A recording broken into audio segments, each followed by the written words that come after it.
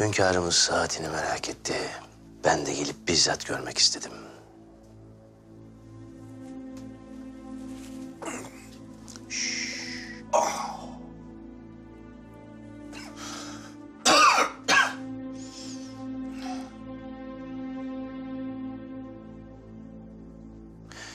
İyice elden ayaktan düşmüşsünüz.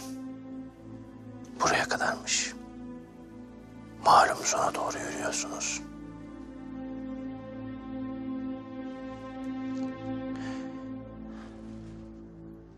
Esasen birbirimize benziyoruz.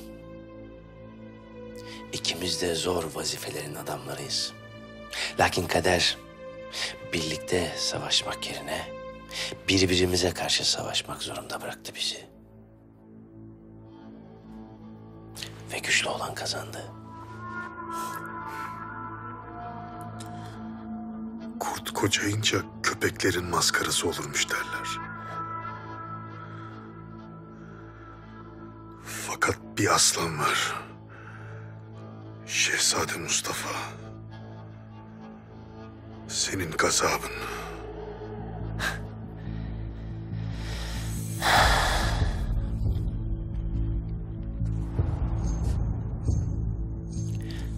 Senin adına üzülüyorum paşa.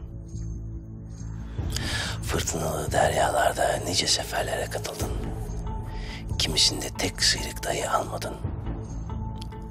Lakin şimdi hayal deryasında